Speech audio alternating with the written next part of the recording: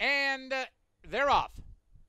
Miss Hannah Joe is away sharply and reaching up for their lead. From the far outside, there goes Factor Around, also moving to challenge and looks to cross over. Clever Tail comes away with the top flight. Up on the outside is Clear as Day, and the last horse away is Key to Gold. As they pass under the wire for the first time, Factor Around gets over nicely from the outside post and has the lead three parts of a lake. Miss Hannah Joe is ranked to handle, moves up from between horses now second. Down along the inner rail, Clever Tail is now racing along third.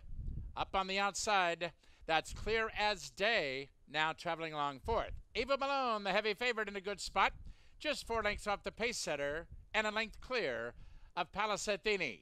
Then it's one length farther back to Gentle Touch, and the trailer is Key to Gold, but there's only seven lengths from front to back as they turn up the backstretch at 18 to 1. Factor Round takes them along on the lead, now being shadowed by Miss Hannah Joe. Up on the outside, second. Clear as day, carrying the Pin Oak stud colors. Up on the outside is third, now back to fourth, as Clever Tail is making a move along the rail fifth. Ava Malone is full of run and will need racing room sixth. Meanwhile, Palace Athene and Morales now sets her down for the drive on the outside. And now the pace quickens with a quarter of a mile to run. Clear as day and Suarez. They make first run and strike to the lead. Factor round second.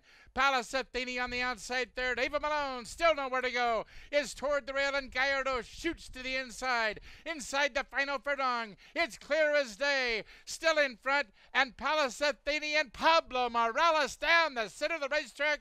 Morales can do no wrong on the turf this year. In front and going away by two. Clear as day second. Ava Malone was third and factor round four. $1 superfecta.